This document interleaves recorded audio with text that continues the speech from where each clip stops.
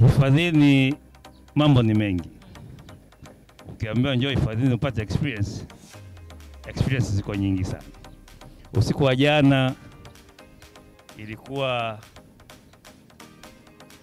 kama vile simba walikuwa wamehamia jirani yangu hapo uwani kwangu.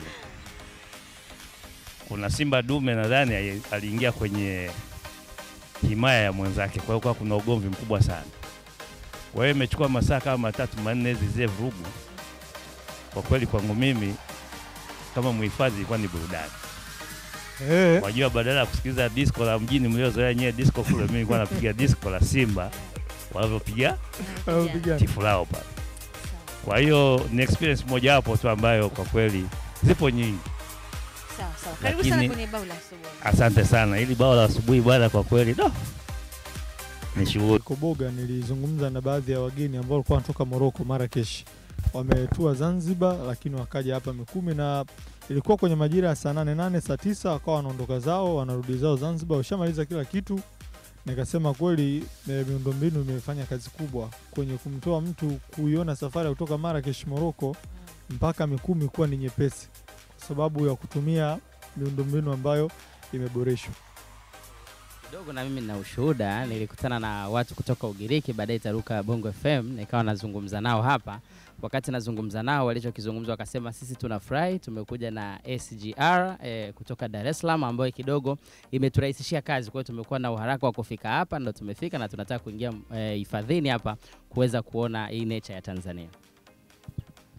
Ni kweli hii treni ya SGR kwa kweli kwetu sisi ni mkombozi sana, sababu mgeni anatoka Dar es Salaam asubuhi lisali moja na nusu yuko Morogoro, anafika Morogoro anachukua gari inamleta hapo kwa lisali moja tena anafanya utalii. Kama nilivyosema mwanzoni, wanyama wetu sisi hawahitaji kutafuta masaa mengi. Kabisa. Kwa hiyo akifika hapa let's say akifika hapa saa nne saa nne saa tano saa sita ameshamaliza, anaweza akaamua kurudi zake Dar es Salaam. Kwa hiyo unaweza ukatoka Dar es Salaam unasema unaenda Kariakoo, kumbe umekuja Mikumi, alafu baadaye ukarudi nyumbani unasema ah, nimetoka Kariakoo.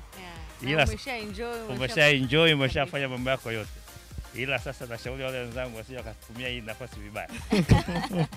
Sawa sawa. Uh, tunatamani tuelezee hifadhi ya Mikumi kwa ambao hawaifahamu. Ni hifadhi ya namna?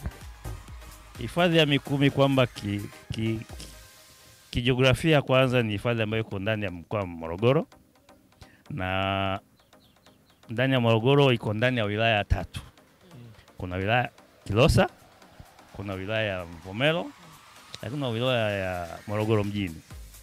Haya maeneo yote, hizi wilaya zimemega kila moja na kipande chake, lakini sehemu kubwa iko wilaya ya Kilosa.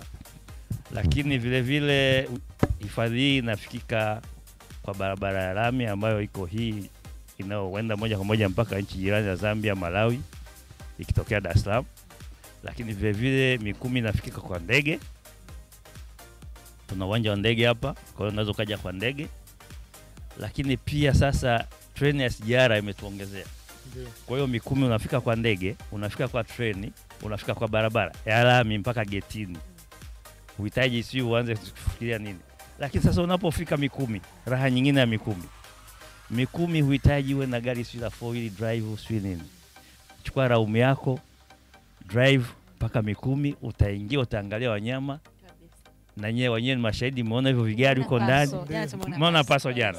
Haya jamani, mimi hayo maneno wanasema ndugu zangu hapa. Unajua kuna kitu kilinishtua kipindi tunaingia, sasa ndivyokuwa nikiona paso lilivyo hivi dogodogo, nikasema eh, haiwezekani hapa, labda chatu akajivingisha karibana, ila nikaona kumbe bado uwezekano upo. Ile kabla alijaingia nilijiuliza hilo swali, mara pap paso hii hapa, Ah, nikasema hii mbuga hatari. Mikumi kwa kweli ni hifadhi ambayo kwa kweli ni raha, naweza nikasema ni raha, yaani haikubagui wewe mwenye gari yako ndogo, mwenye gari kubwa, uwe na costa, uwe na hizi 4x4 wewe Mikumi nakwambia karibu. Mikumi na kukaribisha, unakuja una enjoy, unarudi zako nyumbani. Kwa hiyo Mikumi kwa kweli barabara zake Mheshimiwa Rais, serikali yake wametutendea haki, tunajitahidi sana kuzimaintain. Ni barabara nzuri, lakini viwanja vya ndege ndio kama nilivyosema, kwa kweli Mikumi ni raha. Sawa sawa. Ongezeko la utalii limekuwa kiasi gani? Tunafahamu tayari ilizinduliwa filamu ya Royal Tour ambayo aliifanya mwenyewe rais wetu wa Jamhuri ya Muungano wa Tanzania awamu ya sita Daktari Samia Suluhu Hassan, na tayari kumekuwa kuna muendelezo mwingine. Jana nilikuwa tunaongea na Dr. Victor ambaye ni mkuu wa Safari Channel tuambia kwamba kuna nyingine ya Wachina na vitu vingine ambavyo vinaendelea kufanyika kwa ajili ya kukuza utalii wetu. Mikumi imenufaika vipi na hii?